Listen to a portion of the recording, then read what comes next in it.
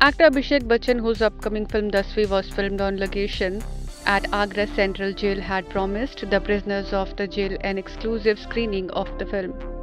The actor returned to the city to screen Dasvi for 2000 jail inmates. The grand setup saw senior officials welcome the cast and crew that included Abhishek as well as co-stars Yami Gautam, Nimrat Kaur and director Tushar Jalota.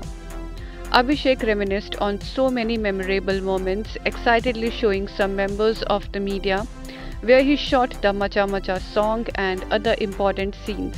That's not all. He also donated an assortment of books for the inmates to enjoy at the library. Sources close to the crew revealed that the inmates were humbled by the actor's thoughtful gestures. He shared a video clipping of him talking to the inmates and captioned it A promise is a promise. Last night I managed to fulfill a commitment I made a year ago. The first screening of our film Dasvi held for the guards and inmates of Agra Central Jail. We shot the film here. Their reaction are memories I will remember and cherish for lifetime.